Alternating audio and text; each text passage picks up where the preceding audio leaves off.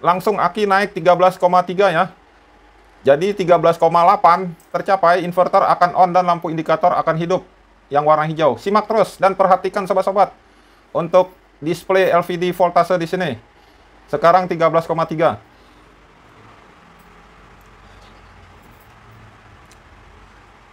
Ya, sudah naik ya, 13,5 ya.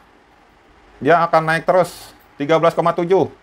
Ya, sebentar lagi dia akan hidup ya, sobat-sobat ya. Perhatikan voltase. Ya, sekarang sudah hidup ya. Berarti inverter ini sudah on atau otomatis menyala dengan bantuan LVD.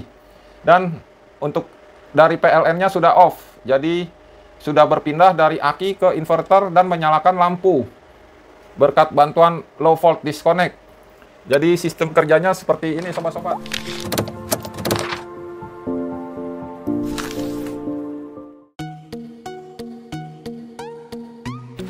Jumpa lagi di channel Hari PLTS. Ya, sobat-sobat, salam sejahtera dan sehat selalu untuk sobat-sobat semua.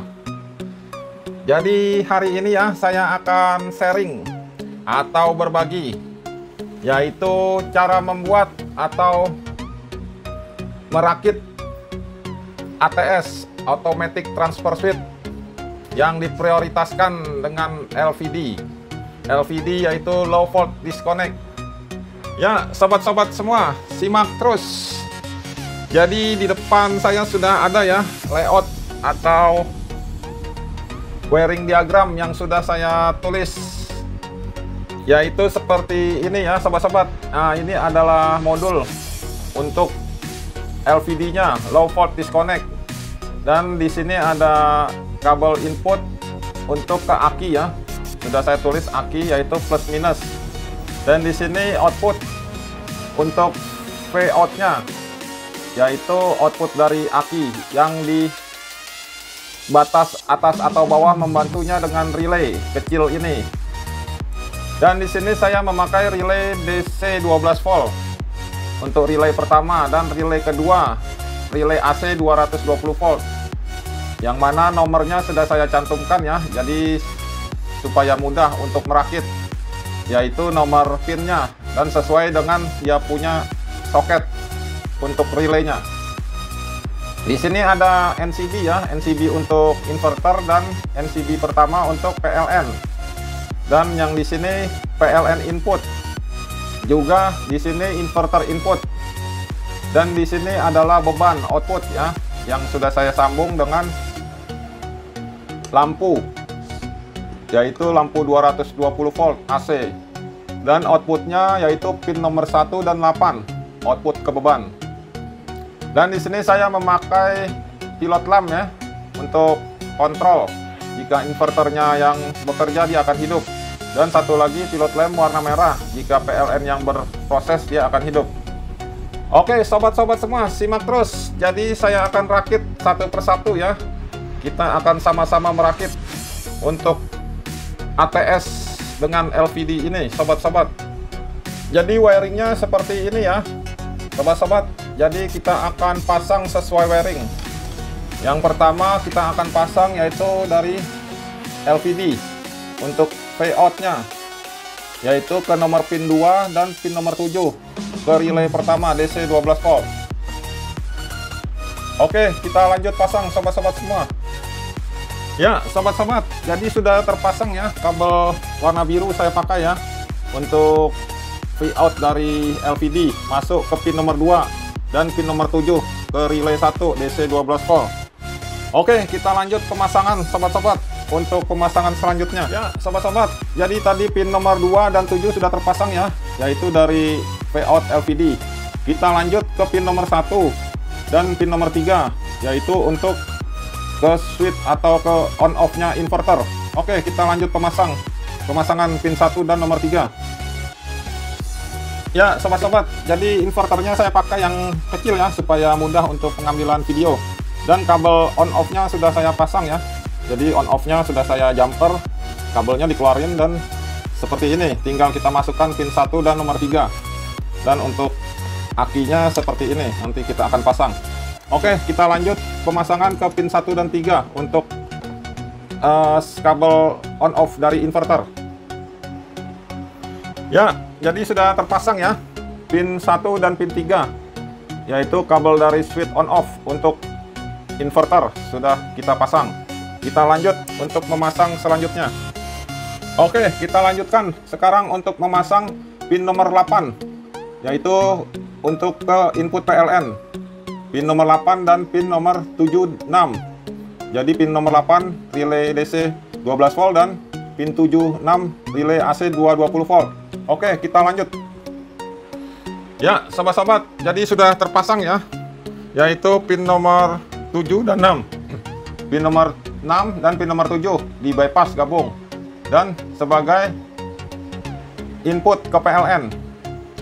Oke, dan untuk pin nomor 8 sudah terpasang juga masuk ke NCB. Oke, kita lanjut dari NCB masuk ke input PLN dan sudah terpasang sobat-sobat yaitu dari NCB kabel hitam masuk ke input PLN oke kita lanjut penyambungannya sobat-sobat semua. Oke kita langsung lanjut penyambungan ke pin nomor 5 dari relay DC 12 volt langsung ke pin nomor 2 dan 3 di bypass oke langsung kita sambung sobat-sobat semua ya sobat-sobat sudah terpasang ya yaitu pin nomor 5 masuk ke pin nomor 2 dan pin nomor 3 ke relay AC 220 volt Oke, kita lanjut untuk pemasangan berikutnya. Ya, sobat-sobat, jadi pemasangan di pin nomor 5, 2, dan 3 sudah selesai ya. Dan kita lanjut pemasangan di pin nomor 1 dan 8 sebagai output beban NCB. Oke, kita lanjut terus sobat-sobat. Ya, jadi pin output yang sudah terpasang ya, nomor 1 dan 8. Output beban yaitu dengan memakai beban sebagai beban lampu untuk testing atau percobaannya. Oke, kita lanjut pemasangan berikutnya. Ya, jadi pemasangan berikutnya kita akan pasang ya, yaitu pemasangan untuk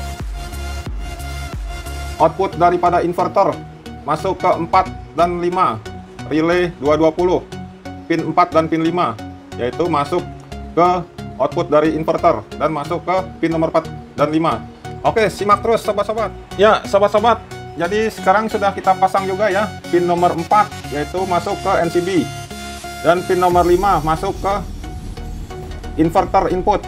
Oke, kita lanjut pemasangan berikutnya sobat-sobat. Ya, sobat-sobat, jadi pemasangan sudah selesai ya.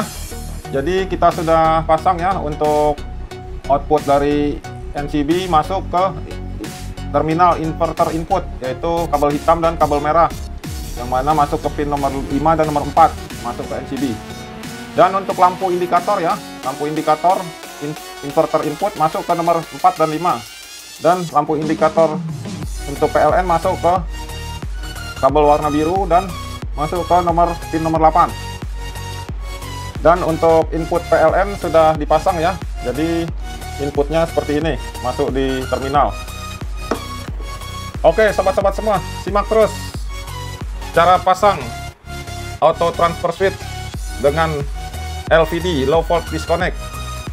Ya, sobat-sobat, jadi pemasangan kabel sudah selesai ya.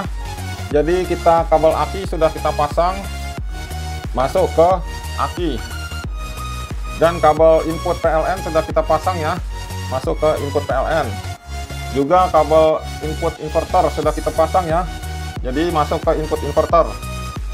Dan untuk kabel switch inverter ini ya sudah masuk ke switch inverter oke lanjut terus sobat-sobat kita akan tes ATS ini dengan memakai LVD ya di sini saya akan tes dengan memakai aki motor ya sobat-sobat ya jadi supaya lebih kecil dan lebih mudah pengambilan video saya taruh di sini sobat-sobat ya sobat-sobat langsung kita tes ya memasang relay ya yang pertama kita pasang relay yang 12 volt sobat-sobat. Yang DC 12 volt. Yaitu seperti ini ya, relaynya yang 8 pin. Kita langsung colokan.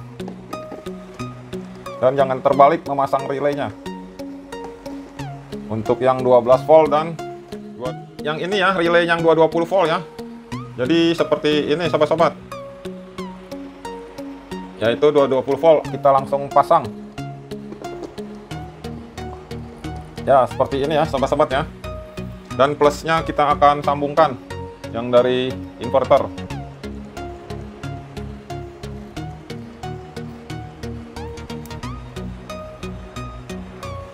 Ya, sudah terbaca lampu indikator untuk LCD sudah menyala ya. Yaitu menyatakan akinya 12,6. Oke, kita cek sobat-sobat untuk cara setting LVD-nya sobat-sobat semua. Ini langsung kita colokan ya untuk kabel PLN yaitu ini ya. Kita langsung tes menyalakan ATS ini. Ya, sudah menyala ya lampunya ya. Nah, ini sedang PLN yang otoritas PLN yang sedang menyala lampu ini. Dan kita lihat voltase 12,6 ya. Jadi 12,6 keadaan inverternya masih off ya atau LVD-nya juga masih off atau tidak hidup. Karena kita setting di sini ya, kita lihat batas bawah 12,2 dia akan mati untuk inverter atau akinya off dan batas atasnya 1,6 ditambah 12,2 berarti 13,8 ia akan on atau inverter akan on. Pada waktu 13,8 inverternya on dan pada waktu 12,2 inverternya off.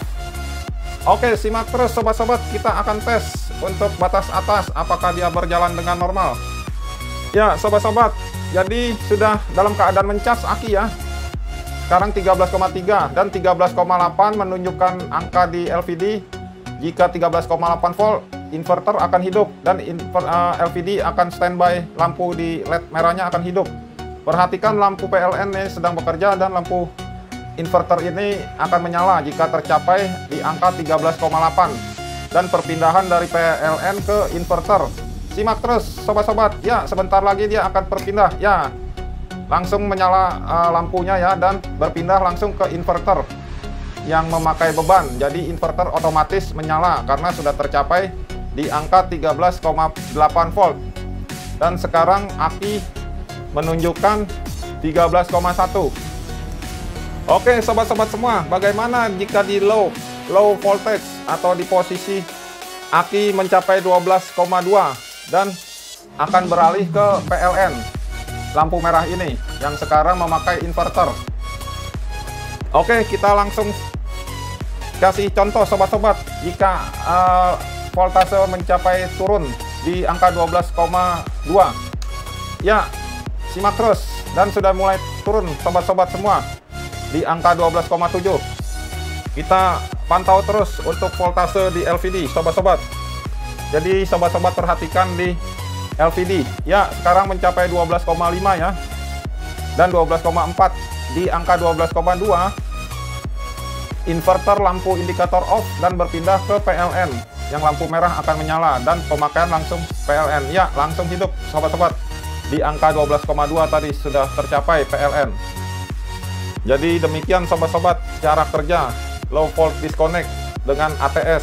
Minimal jika aki ingin awet lama, kita harus membatasi 50% dari voltase yang kita pakai. Jadi 50% terkuras dan masih sisa 50% untuk mencas. Ya, sobat-sobat semua, jadi demikian kita sharing atau berbaginya dalam membuat ATS dengan LVD. Semoga bermanfaat untuk sobat-sobat semua. Salam sehat dan sukses selalu.